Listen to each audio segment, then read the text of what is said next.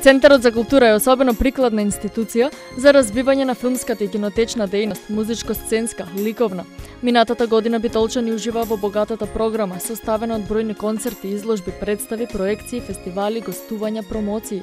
2013 за Центарот за култура беше една од најпродуктивните години, а за 2014 палетата од културни настани е исто така разновидна за сечи вкус после може би најуспешната година на Центарот за култура 2013 пред голем предизвик се наоѓаме да и оваа 2014 година биде исклучително успешна со реализација на на вистина квалитетна програма. За тоа пред се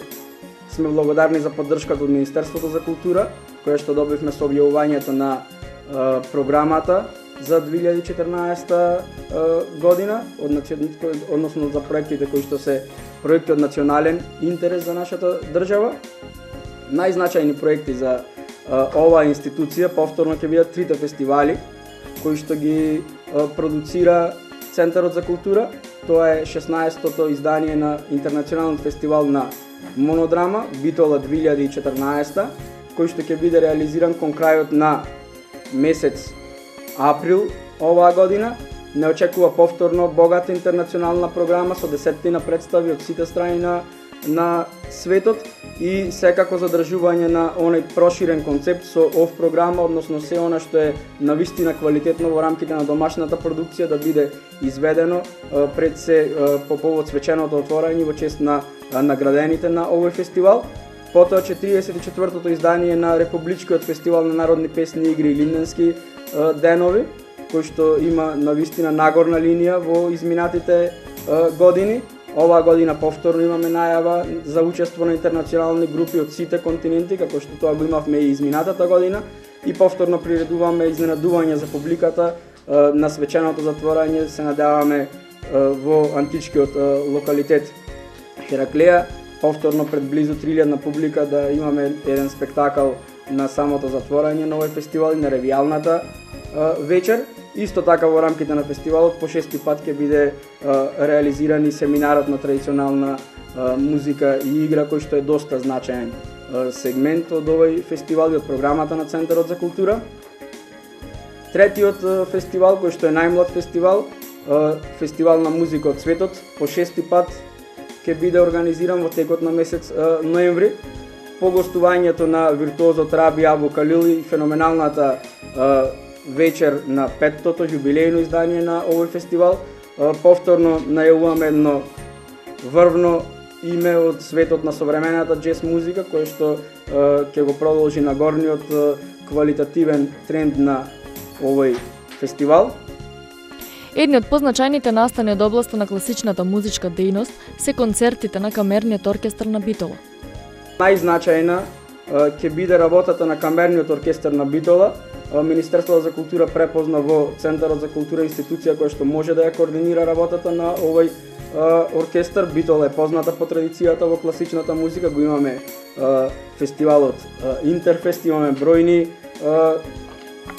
виртуози кои што творат во на ова поле и се надеваме дека со поддршката на Министерството за култура и на општина Битола овој концерт нема да реализира само два овој оркестар нема да реализира само два концерти, како што е најавено, туку ќе успеаме да, да реализираме четири концерти во сите периоди од е, е, годината. Првиот веќе можеме да го најавиме, ќе биде во очи на, на, на Великден, односно во првата половина на е, месец април 2014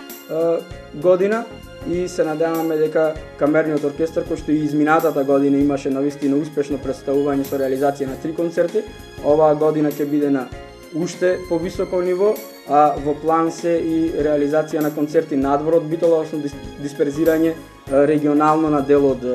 програмата. Значи во областа на класичната музика исто така ќе добиеме поддршка за превземање на концерти од класична музика кои што ќе се реализираат во другите градови и ќе може и во Битола да бидат дел, така да нема овој дел од музиката да живее само за време на реализацијата на Интерфест, туку и во текот на целата година. Друга значајна интенција на Центарот за култура за 2014 е да се продолжи и интензивира соработа со другите културни институции. Најавено е гостувањето на танец, како и македонската опера и балет. Исто така, веќе традиционално повторно можам да најавам гостување со целовечерен концерт на Националниот ансамбл на народни песни игри на Македонија. Танец, повторно гостување на македонската опера и балет, така да една навистина интензивна и динамична програма во текот на целата година. Исто така добивме средства и за реализирање на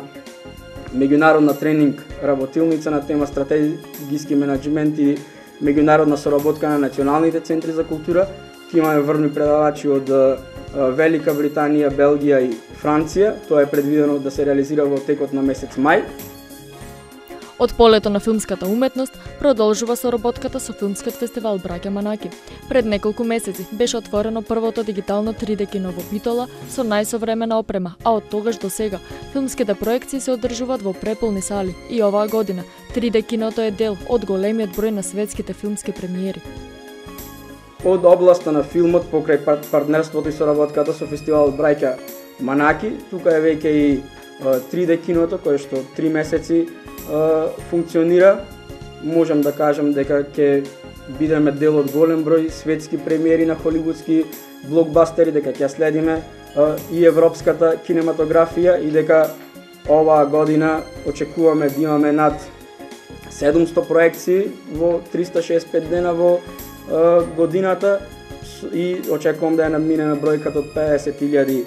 гледачи, бидејќи изминатата година само во втората половина имавме близу 30.000 комбинирано фестивал Браќа Манаки и почетокот со функционирање на нова 3D кино, а исто така има една интересна иницијатива со еден од дистрибутерите да се реализира во Битоли во Скопје на фестивал на детскиот европски филм, кој што се надеваме дека во текот на оваа година ќе биде реализиран во соработка со Центарот за култура и 3D киното кој што функционира во рамките на нашиот Центар за култура. Во годишната програма спаѓаат и големиот број на ликовни изложби. Од областа на ликовната дејност, исто така во план се да се да се реализираат различни проекти, но тука би издвоил изложбата на академскиот скулптор Боро Митрикески и исто така изложба на најстарата ликовна колонија во нашата држава, тоа е Струмичката ликовна колонија со дел од нивните најзначајни дела.